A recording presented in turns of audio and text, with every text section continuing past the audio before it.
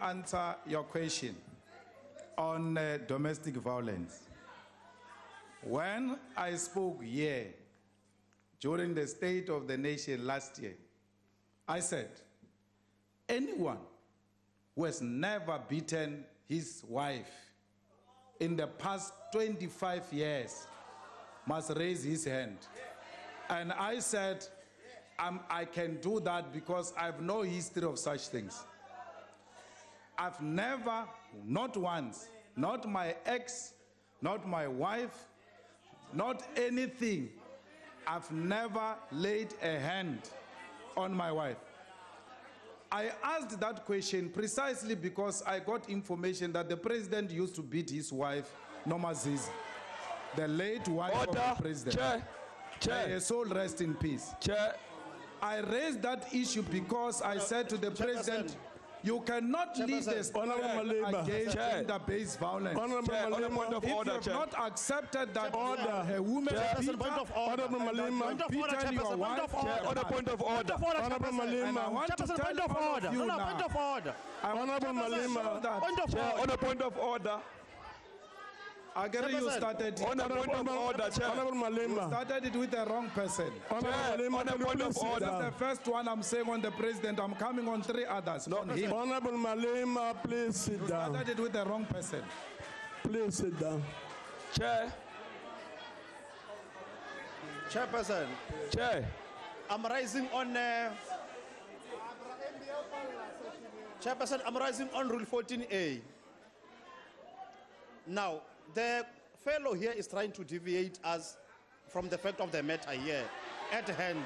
Why are you mentioning the president, mentioning others, blah, blah, blah? Hey, rumor here, what, what, what, President Chief, get to the point, answer. Are you abusing your wife? Yes or no? Stop involving other members of the House here. Honorable members, The answer, Honorable the members. answer is no. I have no Chair- problem giving that difficult. But I want honorable members, honorable Malema, please sit down, please. Honorable members, clearly there is a problem in the House. Clearly there is a problem in the House. outside. One of one of, of these problems, there's a problem now in the house now, but one of the problems that lead to this big problem is the fact that uh, members stand up and they input on the integrity of other members. Now, this kind of thing should not be happening in this joint sitting. Because if you do such a thing, others would stand up and do the same. And the result will be, chaos and a general sense of disintegration and undermining, overall undermining of the House. So I am pleading with all of us to carry ourselves and to behave in a befitting manner.